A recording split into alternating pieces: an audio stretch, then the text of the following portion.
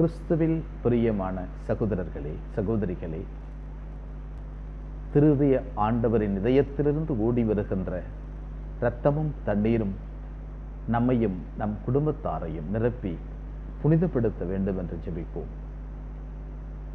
இன்றைய இறைவாக்கு லூக்கா நற்செய்தியாளருடைய உரையிலிருந்து பத்தாவது அதிகாரத்திலிருந்து பதிமூன்று பதினாறு வசனங்கள் நமக்கு தரப்பட்டிருக்கிறது. இந்த இறைவாக்கில் பார்த்தோமேயானால் கலிலேயா நகரங்களை ஆண்டவர் கடுமையாக சாடுகிறார் சபிக்கிறார். ஏனென்றால் இந்த நகரங்களில்தான் ஆண்டவர் எண்ணற்ற வல்ல செயல்களை செய்தார் எண்ணற்ற அற்புதங்களை செய்தார். எங்கு பார்க்கினும் மக்கள் கூட்டம் எங்கு பார்க்கினும் தெருவோரங்களிலெல்லாம் அவர் சென்ற இடங்களிலெல்லாம் மக்கள் கூட்டம். அவரை தொட்டவர்கள் எல்லாரும் குணமானார்கள். அவர் யார் யாரையெல்லாம் தொட்டாரோ எல்லாரும் குணமானார்கள். இப்படி அதிசயங்களும் அற்புதங்களும் நிரம்பி வழிந்தன இயேசுவின் பிரசனத்தில். இருப்பினும் அங்கே இருந்த யூதர்கள் பெரியோர்கள் இயேசுவினுடைய உண்மைத்தன்மையை அவர் மிஸ்ஸியா என்ற உண்மைத்தன்மையை ஏற்க மறுத்தார்கள். பரிசெயர்களும் சதுசெயர்களும் சட்ட வல்லுநர்களும் பெரியோர்களும் இயேசுவினுடைய உண்மைத்தன்மையை ஏற்க மறுத்தார்கள். எனவே அந்த கலிலேயா பகுதியில் இருக்கின்ற பல்வேறு நகரங்களை கடுமையாக சபிக்கிறார் சாடுகிறார். இந்த கடவுளின் வார்த்தையை எடுத்துக்கொண்டு லுக்கான செய்தியாளர் தன்னுடைய மக்களுக்கு இந்த எச்சரிக்கையை தருகிறார். கடவுளின் வார்த்தை அறிவிக்கப்படுகின்ற போது வல்ல செயல்கள் வெளிப்படுகின்ற போது மனிதர்கள் அதை ஏற்றுக்கொள்ளவில்லை என்றால் அதை வேண்டாம் என்று ஒதுக்குகின்ற போது கடவுளின் அருளை ஒருவர் வேண்டாம் என்று ஒதுக்குகின்ற போது கடவுள் அருள் எனக்கு வேண்டாம் என்று தடை செய்து கொள்ளுகின்ற போது ஆண்டவருடைய எச்சரிக்கை நமக்கும் உண்டு என்பதுதான். அதோடு மட்டுமல்ல எதற்காக இந்த எச்சரிக்கை? இந்த வார்த்தை உண்மைத்தன்மையோடு திருத்துதர்களுடைய கரங்களிலிருந்து நமக்கு வருகின்ற போது அது இயேசுவிடமிருந்தும் தந்தையிடமிருந்தும் நமக்கு வருகிறது என்பதுதான் உண்மை. என்று பதினாறாவது அது வசனம் நமக்கு சொல்லுகிறது.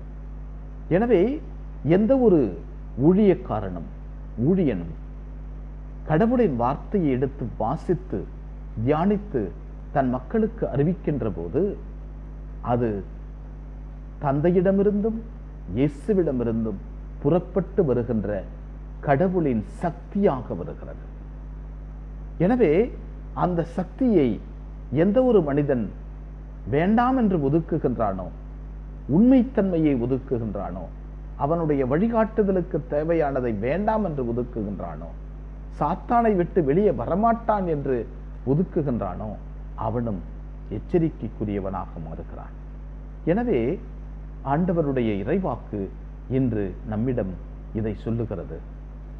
ஆண்டவருக்கு நன்றி சொல்லுவோம். இன்று விவிலிய அறிஞரும் பெரும் புனிதருமாகிய புனித எரோனிமுசின் திருவிழாவை கொண்டாடுகிறோம். கடவுளின் வார்த்தையை கிரேக்க மொழியிலிருந்தும் எபிரேய மொழியிலிருந்தும் லத்தீன் மொழிக்கு முழுமையாக மொழிபெயர்ப்பு செய்து அந்த மொழிபெயர்ப்பை உலகத்தினுடைய எல்லா மக்களும் படிக்கக்கூடிய அளவிற்கு இன்று எல்லாருடைய கையிலும் விவிலியம் தவழ்கிறது என்றால் இந்த பெரும் புனிதருடைய அயரா முயற்சிதான் முன்னூற்று நாற்பத்தி இரண்டாம் ஆண்டு இத்தாலி கிழக்கு இத்தாலியிலே பிறந்த இந்த புனிதர் பெத்லேகமில் சென்று தங்கி விவிலிய பகுதிகளை நேராக சென்று ஆராய்ந்து தெரிந்து அதனுடைய வரலாற்றினுடைய நுணுக்கங்களை எல்லாம் கண்டு அறிந்த பிறகுதான் இந்த வேலையை அவர் செய்திருக்கிறார். பல ஆண்டுகள் பெத்லேகமில் தங்கி கடவுளின் வார்த்தையை பொதித்து அவற்றை அறிந்திருக்கிறார். அந்த வார்த்தைகளை மக்களுக்கு தெரிய அவற்றை மொழிபெயர்ப்பு செய்திருக்கிறார். இந்த புனிதருடைய திருவிழாவிலே கடவுளின் வார்த்தையை படிக்கவும் தியானிக்கவும் உண்மைத்தன்மை அறியவும் கடவுள் நம்மோடு பேசுவதை நாம் ஒவ்வொரு நாளும் புரிந்து கொள்ளவும் நாம் அழைக்கப்படுகிறோம். கடவுளின் வார்த்தை எப்பொழுதும் உயிருள்ளது ஆற்றல் மிக்கது. வானத்திலிருந்து விழுகின்ற மழை எவ்வாறு வானத்திலிருந்து விழுகின்றது. பலன் தராமல் திரும்பி செல்வதில்லையோ? அவ்வாறே ஓடி விழுகின்ற இறைவாக்கு பலன் தராமல் செல்வதில்லை. அந்த பலன் தருவதற்கு நம்முடைய இதயங்கள் பக்குவப்பட நம்மையே தயாரிப்போம். எங்களை நேசிக்கின்ற விண்ணகத் தந்தையை மை போற்றுகிறோம் இந்த நாளுக்காக மக்கள் நன்றி சொல்கிறோம் ஆண்டவரே புனித எரோனிமுசனுடைய திருவிழாவிலே விவிலியத்தை ஆராய்ந்து படித்து ஒவ்வொரு வரிகளையும் தியானித்த இந்த புனிதரைப் போல கடவுளின் வார்த்தை எங்களை தேடி வந்திருக்கிறது.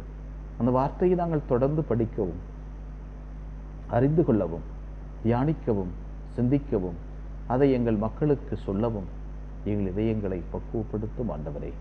அன்னை மரியே எங்கள் அன்பு தாயே உன் திருமகனிடம் எங்களுக்காக இடைவிடாது பரிந்து பேசும்.